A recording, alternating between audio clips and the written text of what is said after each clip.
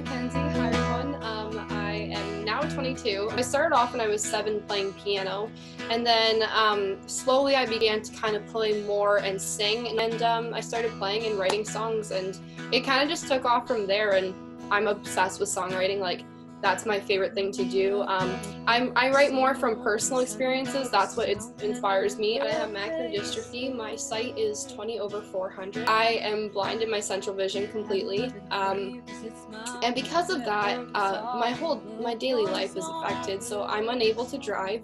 Um, I have to have assistive devices with me at all times to help me, you know, read. And with that, you just you learn to adapt, and you just kind of, you know, you change your you change your strategy in life just to kind of be able to fit your needs. And I was probably in, actually I was in grade 10 and I got to go on the Dream Lift, which is where, you know, they, they, uh, Sunshine takes all the kids, like a bunch of kids and loads them on a plane and we all go to Disney for a day. And it's the craziest, like most insane 24 hour trip anybody could ever imagine. So the the girl who uh, was doing orientation mobility with me told me about the dream lift.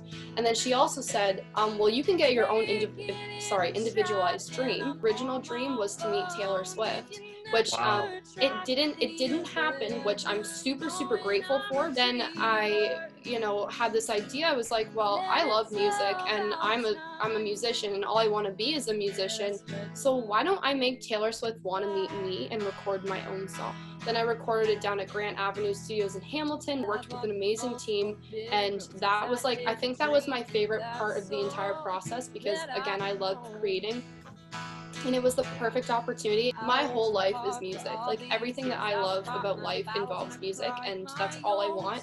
And it was kind of this this song was kind of like a letter to my parents being like, "Hey, like I I'm serious about this and like this is my dream."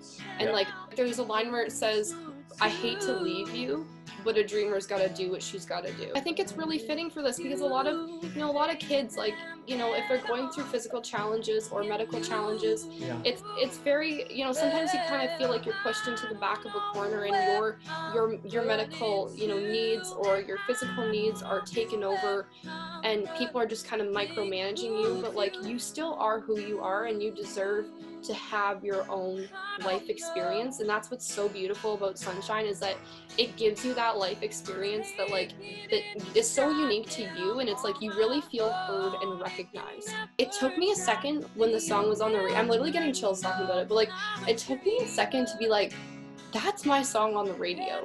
Like this is my life stream coming true. Like I'm finally hearing my music on the radio, and like I just bawled. Like and like the DJ host who I'm a huge fan of like came over and hugged me, and like we were all my whole family was in the room, so we're all like crying together. Like it was super amazing to actually like have a dream realized. Right? Do you have any words of wisdom to pass along to people? You know, in terms of going through challenges, especially during this pandemic just just try to stay as positive as you can. Try to take what you have and do what you can with it basically. That's just what i'm trying to get across